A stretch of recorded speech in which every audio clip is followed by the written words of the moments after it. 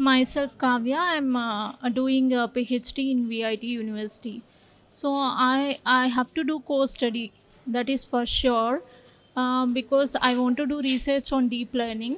So for that, I have enrolled for this course, and uh, it's a 60 lectures. Videos are present. Each uh, are approximately for 30 minutes. So this helped me a lot uh, throughout my research uh, research uh, in deep learning uh, Uh, in terms of medical field.